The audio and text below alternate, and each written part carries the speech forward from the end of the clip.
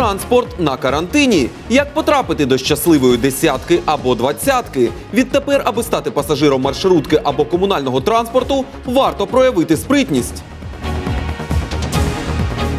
Домовитися з провідником або знайти попутників та замовити автівку. Як маріупольці, які застрягли в інших містах України, планують добиратися додому. Спеціальний репортаж програми.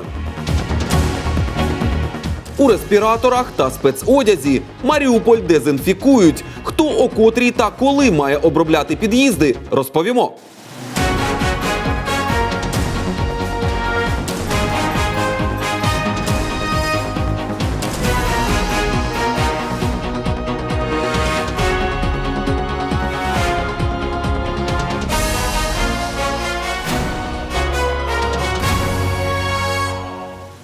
Вітаю вас у студії Максим Грабовський. Ви дивитесь інформаційну програму Дзеркало. Далі докладніше про останні події. Ліміт на пасажирів від сьогодні до громадського транспорту тільки після підрахунку. Маршрутка має перевозити 10 людей, комунальні автобуси, тролейбуси та трамваї 20. Наскільки важко потрапити до щасливчиків, перевіряла Валерія Семічихіна. О пів на першу одна з кінцевих зупинок. Олександр чекає на свій автобус годину. Та марно. Я только что зашел. Сказали, вы 11 выходите. Все. А коммунальный транспорт не залезешь. Жена на работу ей во вторую смену. Так она ей на три, она уже с дому пошла, чтобы на работу. Людей рахують до маршрутки, більше десяти не пускають. Контролюють це кондуктори. Не сильно ругаются, но возмущаются. Ну, как-то понимают. Жалко всех. Хотелось бы всех забрать. Тим часом водії почали підраховувати збитки, бо тільки за пальне одна поїздка коштує 160 гривень. Делаем 6 кругов, 7 кругов. Теперь посчитайте по 10 человек. Математика простая. Если штраф будет вешаться на нас, конечно, никто платить. Ну, я со своего кармана доставать не буду. Допомагати водіям та кондукторам мали поліцейські, та вони чомусь просто стояли перед зупинкою. Натомість із комунального транспорту, проте в іншому місці вийшло більше людей. Та транспортники пояснили, просто не встигли довести до кінцевої й почали рахувати у комунальному транспорті до 20. 13, 14, 15. А Вікторія взагалі намагається провести з собою собаку. Каже, не знає, чи порахують Ешлі як 11-го пасажира. А мне такой, знаете, спорный вопрос. Это зависит от водителя. Ну, во-первых, собака без намордника. Но если людей мало в автобусе, может и возьмут. Під'їхав комунальний автобус. Вы возьмите меня с собакой? Берут. А ось у чергах на зупинках маріупольці не стоять. Транспорт беруть штурмом. Водії радять приходити на зупинку завчасно. Пасажирів рахують та більше десяти не пускають. Заходи, що впровадили по всій Україні, направлені на те, щоб врятувати життя сотень людей. А ті, хто може, лишайтеся вдома. Валерія Семічихіна, Володимир Безоблюков. Інформаційна програма «Дзеркало». Домовитися з провідником, знайти попутників та замовити автівку, або ж покликати на допомогу друзів. Маріупольці намагаються повернутися додому з інших міст. Від сьогодні в Україні заборонили залізничні та автобусні перевезення, але деякі рейси скасували ще вчора. Як дістатися до Маріуполя, способи шукала Валентина Чурікова. Київ, Харків, Львів і Одеса. Маріупольці намагаються повернутися додому з різних міст України. Укрзалізниця тимчасово припинила пасажирські перевезення. Вартість квитків обіцяють компенсувати впродовж півроку. Ірина вчиться у Харкові. Через карантин вирішила повернутися додому. Та потяг скасували. Учора намагалася здати квитки, але грошей не отримала. Во всех кассах просто огромная очередь, и наличных денег нету. И единственный вариант это сейчас Блаблакар на данный момент. Сегодня смотрела поездки, скорее всего, завтра планирую ехать домой. Все упирается в цену, так как это в несколько раз дороже, чем билет на поезд. Знайти водія в інтернеті реально, але виїхати можна буде не раніше неділі. Поїздка з Харкова коштує від 300 гривень, з Одеси – близько півтисячі. Але стережіться шахраїв. Не ведитесь, просит предоплату и трубку не берет. А ось викликати таксі навряд чи вдасться, вважає Володимир. Вартість послуги висока. Та й не всі водії захочуть їхати на великі відстані. 8 гривен километр. Машина, которая будет ехать с Харькова, ну, к примеру, это оттуда, ну, отсюда на Харьков я не поеду забирать клиента. Ну, то есть не, очень дорого будет для клиента. Та деяким мандрівникам все ж таки вдалося сісти на потяг, але це виняток. Ночью уехал последний поезд на Мариуполь, теперь только пешком. Мы же едем неофициально. Найвірогідніший варіант дістатися додому – автостоп або попросити знайомих з автівками, вважають маріупольці. Валентина Чурікова, Нестор Бондаренко. Інформаційна програма «Дзеркало». Нагадаємо, всі сюжети цього випуску ви також можете подивитися на наших сторінках у Фейсбуці та Ютубі. А якщо хочете запропонувати власну тему, звертайтеся до нас за номером гарячої лінії 0800 600 108. Усі дзвінки у межах України безкоштовні.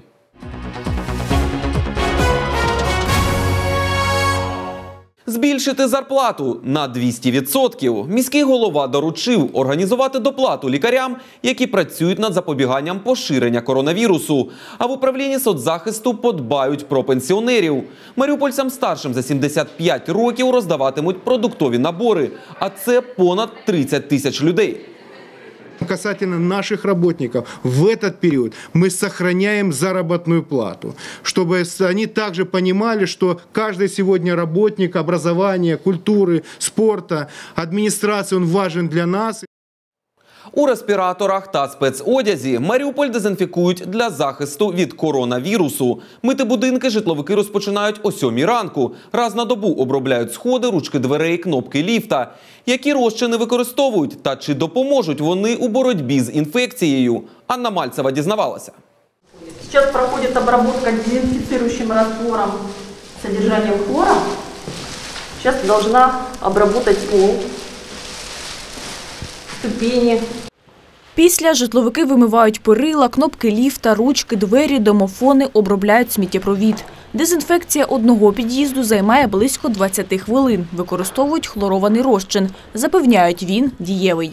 Против коронавируса тоже помогает, когда дезинфекция проходит, микробы все убиваются. Раствор готовый, действует до трех суток, можно использовать. Но мы изготавливаем его ежедневно накануне э, дня обработки. Обрабатываем мы ежедневно. Э, Каждый подъезд, у нас 343 подъезда, у нас создано 12 бригад, задействовано 24 человека. Мешканці будинків дезінфекцією задоволені.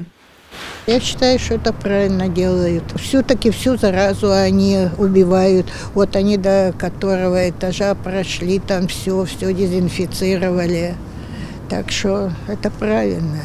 До того ж, частіше стали прибирати і власні квартири, запевняє пані Людмила.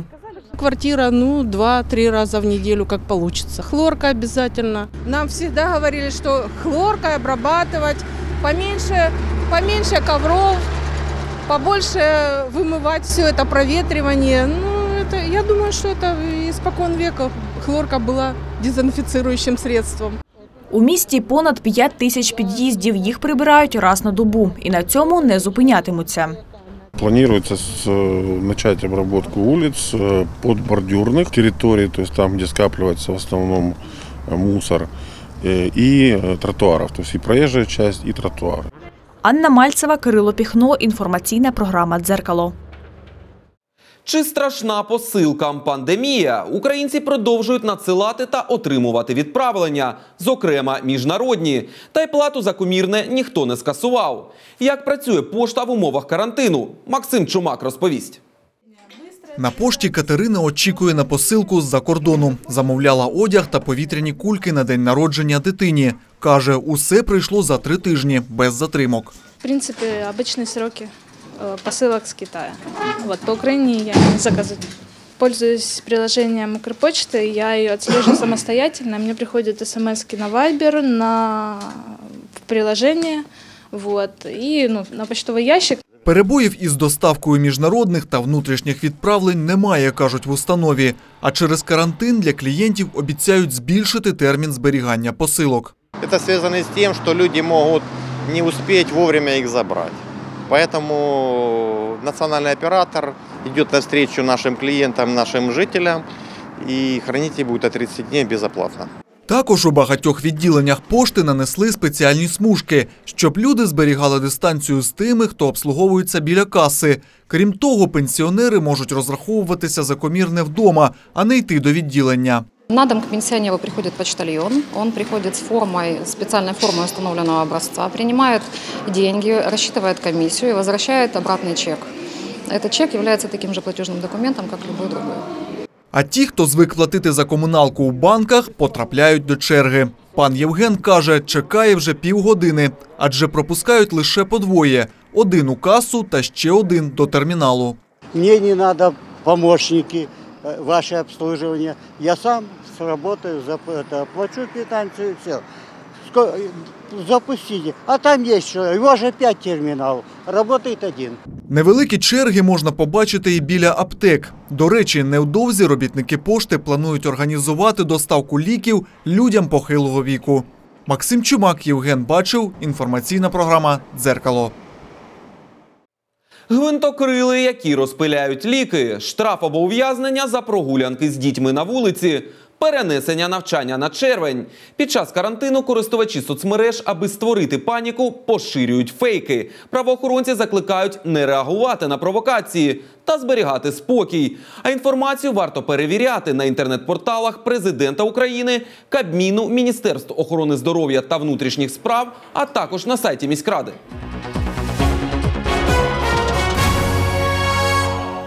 Кафе, бари, ресторани та столові від учора і до 3 квітня всі заклади громадського харчування мають бути закритими на карантин. Таке рішення ухвалив кабінет міністрів. Та чи всі зачинили двері для відвідувачів і де тепер обідають маріупольці, з'ясовувала Анна Слюсарова. Центральний район один із закладів громадського харчування. Двері зачинені, проте кафе працює. Їжу тут можна придбати на винос або замовити доставку додому. Всередину відвідувачів також пускають, проте всього по дві людини. Пан Віктор щойно отримав свій обід. Отлично упаковали, смотрите, первое э, с ложечками, э, второе салфеточки, вилочки, да, хлебушек, салатик.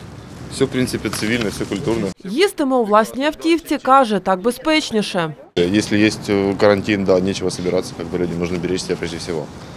Да, поэтому это такие меры, как бы, ну, я думаю, никого от этого станет ни хуже, ни лучше и не похудеть, не дай бог.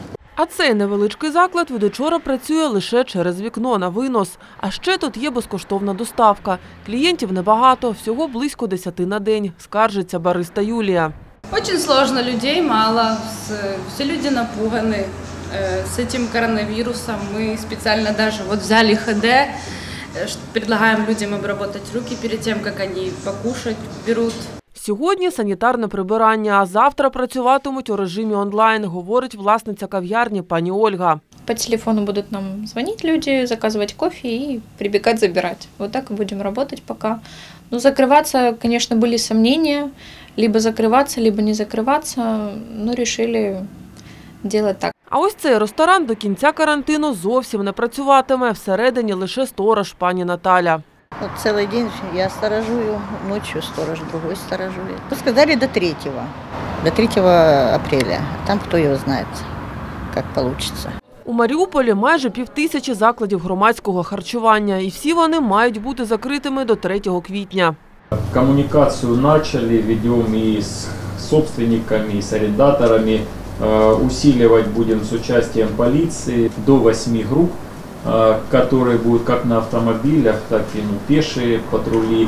Будут осуществлять обходы в первую очередь, превентивную коммуникацию, разъяснять необходимость выполнения при необходимости с привлечением национальной патрульной полиции. Дозволяється готувати їжу на винос та доставляти клієнтам додому. Невиконання умов карантину передбачає штраф від 17 тисяч гривень. Відповідальність несе і власник закладу, і його співробітники. Анна Слюсарева, Віктор Зубенко. Інформаційна програма «Дзеркало». Створити мозковий центр для подолання економічних викликів пропонує компанія SCM. Через коронавірус та карантин знижується активність бізнесу та сповільнюється виробництво в усьому світі. Проте у великих економік більше інструментів для подолання наслідків кризи ніж в Україні. Рінат Ахметов на зустрічі представників великого бізнесу з президентом запропонував створити штаб з економічного здоров'я України. Його фінансування на себе можуть взяти великі компанії, а західні експерти експерти поділитися досвідом. Сейчас многие говорят о рецессии глобальной экономики и, скорее всего, возможен новый мировой финансовый кризис. Потому что, когда, образно говоря, у них в мире кашель, у нас воспаление легких. Для того, чтобы этому противостоять, мы должны принимать быстрые и эффективные решения. А для того, чтобы принимать такие решения, я предлагаю создать мозговой центр при президенте Украины, в который должны войти лучшие украинские и международные умы.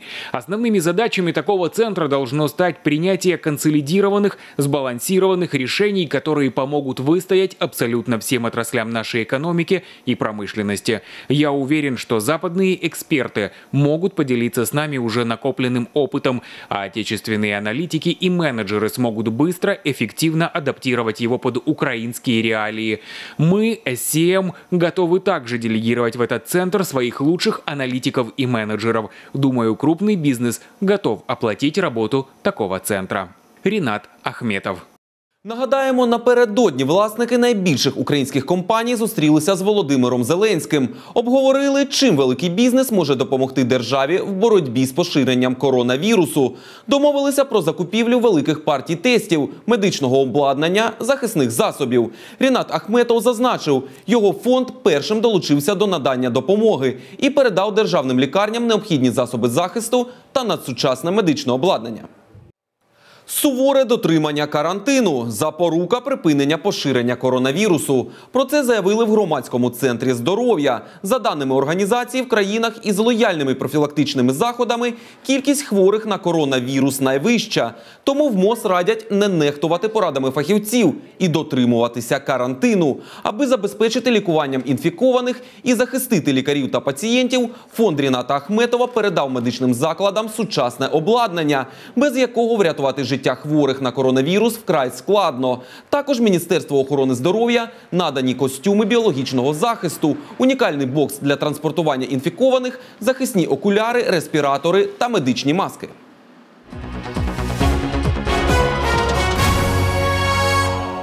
Минулої доби бойовики 10 разів відкривали вогонь по українських позиціях. Противник укотре використав заборонені міномети, а також інші види важкого озброєння. Гатили біля Старогнатівки, Павлополя, Широкиного. Загалом під вогнем опинилися 9 населених пунктів. Двоє наших військових отримали поранення. Повідомляє штаб операції Об'єднаних сил.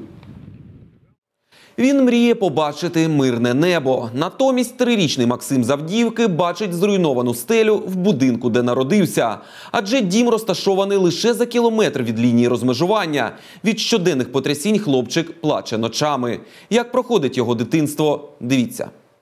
Улюблена кімната Максима руйнується просто на очах.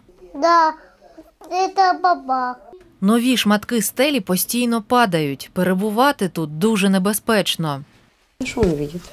Дырки видит. Видит дырки. Усе це наслідки пожежі. Будинок загорівся уночі під час обстрілу. Тоді дивом ніхто не загинув.